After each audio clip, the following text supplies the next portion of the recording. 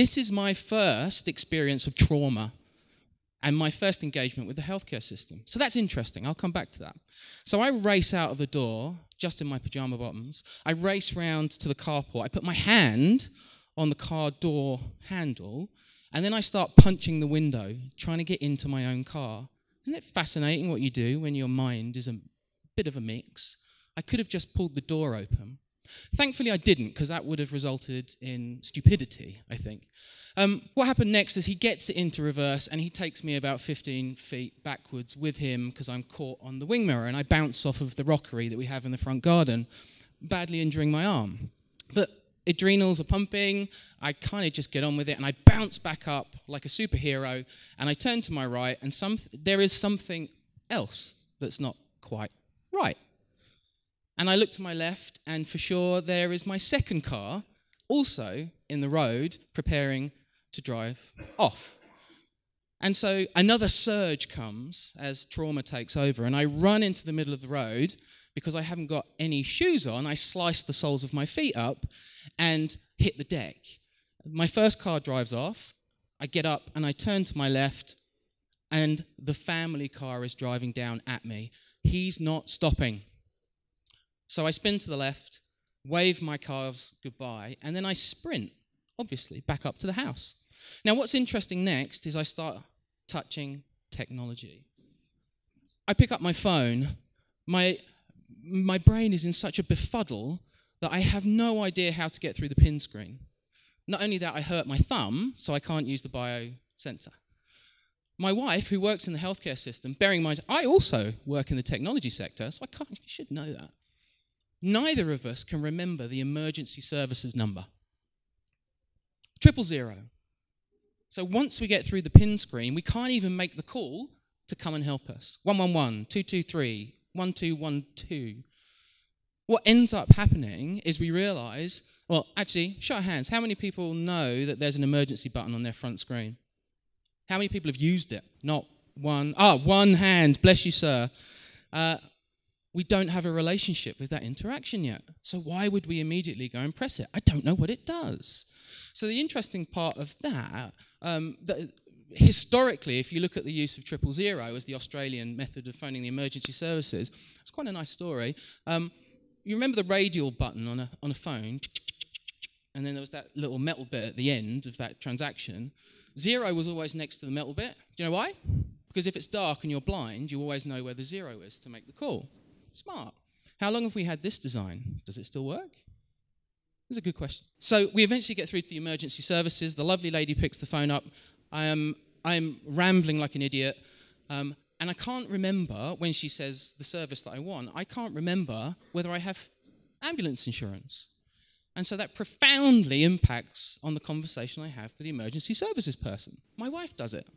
And at that point, my, my relationship with the healthcare system and, and health insurance, particularly, um, limits me from the transaction with the mobile device and the conversation that I'm having with the emergency service per, per person. So she makes the decision for me. The ambulance is called. I kind of, um, you know, 10 minutes later, uh, I'm hopping into the.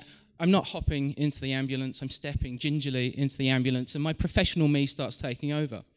Um, the paramedic flips an A3 pad of paper over and starts writing my details into this giant pad. I think, oh, that's interesting. Then he can't remember how to get in the Toughbook laptop to enter my details in electronically. And so he leans over and asks the driver for his login details to log into the healthcare network. Something in that transaction concerns me. We get to the hospital. I step into the emergency, uh, the accident and emergency center. And I, I happened to be there during the transition of nurses. So there's a little break. So we had half an hour later.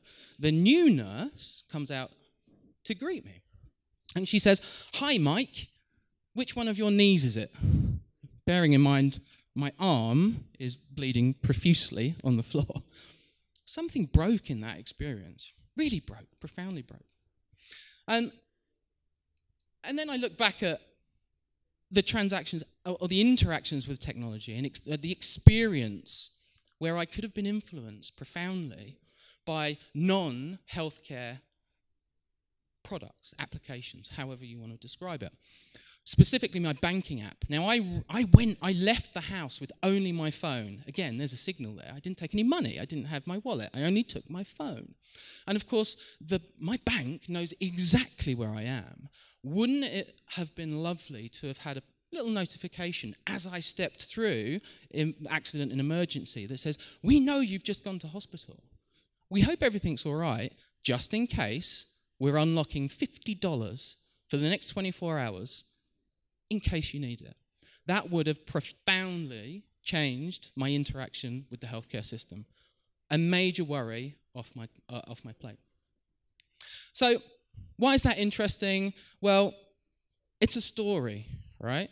What I've just described to you is a story within which, under which, there are interesting product initiatives, there are interesting relationships with experience and technology, um, and innovation. Now, innovation for me is kind of diluted now. Anytime I hear the word innovation, um, the statement is it's now owned by corporations, right? So it's diluted. And what that uh, the way that we refer to that is hypernormalization. Hypernormalization is this burrowing, this furrow, uh, or this constraint delivered to you um, that you can't break out of a particular way or model of thinking. Um, first and foremost, it came out of the, uh, the Soviet Union, breakdown of the Soviet Union. Um, they just carried on. Politics was corrupt, everything was corrupt. They weren't able to change the way they felt. Um, so, what? So, that's all very well and fair, sir. What's next? Well, storytelling. Storytelling is where all those people who five years ago were excited by innovation have now moved to. And who are the best storytellers in the world? It's Hollywood. Now, Hollywood has frameworks, and this framework is from Christopher Vogler. It's a wonderful, it's called The Writer's Journey.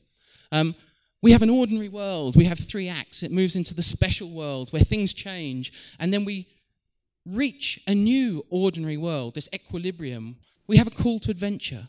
There is something that changes the way that we think. We meet with a mentor who redirects us and gives us information we haven't previously had. Then we cross the threshold, that moment where we think we know enough to go into this new special world. And of course, there will be ordeals, and there will be a reward at the end of that ordeal the elixir, the one ring to bind them. Then we will move into the road back where you return and recreate an ordinary world, and you end with this sense of mastery. That's the story. That's the Hollywood framework, storytelling framework. Consistent. And then we have the character arc where all these emotions are expressed all the way through fear, doubt, confidence, re energizing. There's something about that that I was uniquely positioned to look at or feel as I translated that from my film. Uh, I, I, have a film um, studies degree and also prof- professional writing, so I was uniquely positioned to know what that meant. And then I moved into technology, and there was something about that that felt familiar, something about that that was quite exciting. And then I overlaid the way that we deliver products, digital products. And I was stunned with the framework and how, how that expressed exactly how we deliver digital. For Tigerspike, other flavors are available, we start with this experience definition. We want to know more about what it is we're building. Then we move into design and build. There will be ordeals, there will be enemies, there will be new people to talk to, all with the goal to finding product mastery. And that character arc is absolutely, absolutely in line with the emotional journey that these businesses and individuals will go on. I say to you, and I'm confident, there are no new stories. Why? Because the framework tells us so. So, um, those who were in Mario's presentation yesterday will have done that lovely exercise about name or describing a plot in one line.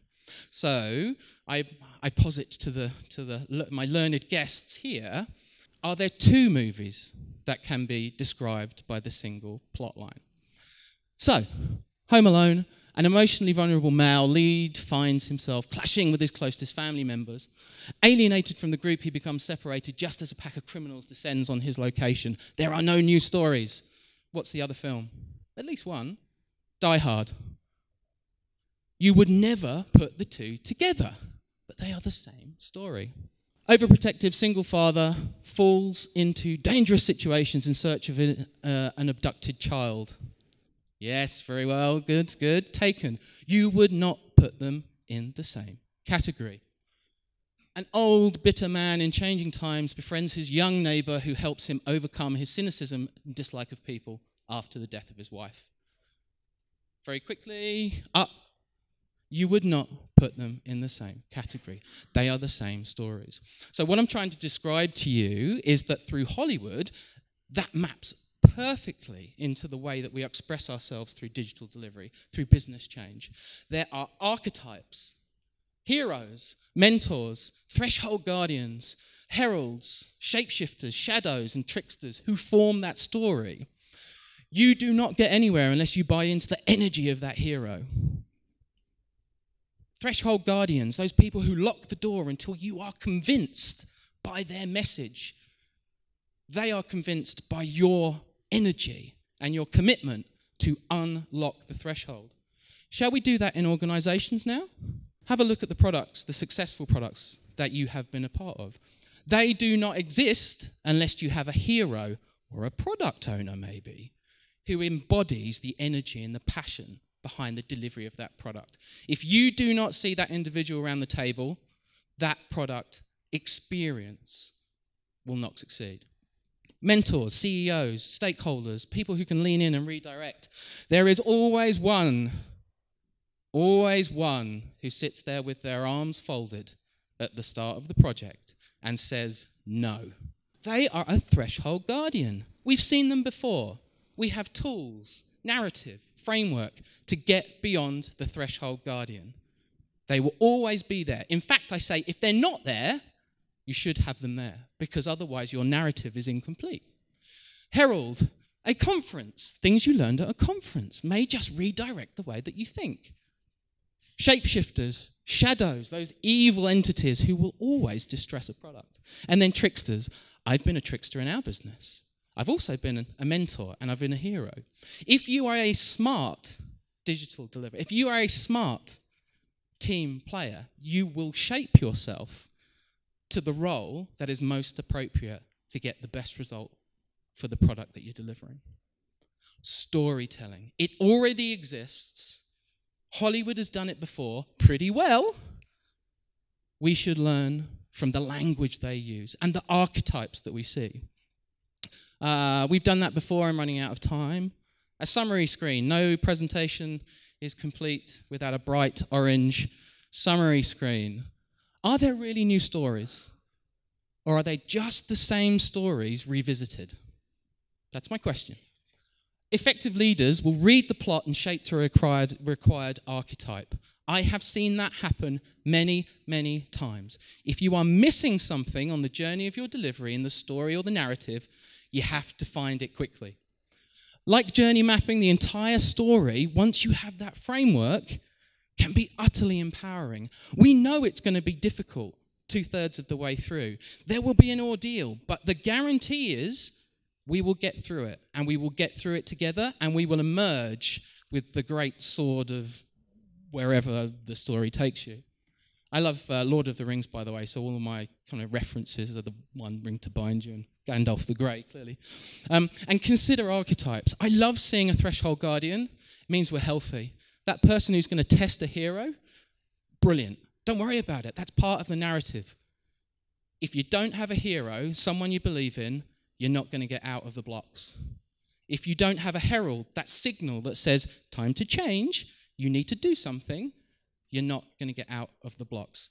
Hollywood has done it before.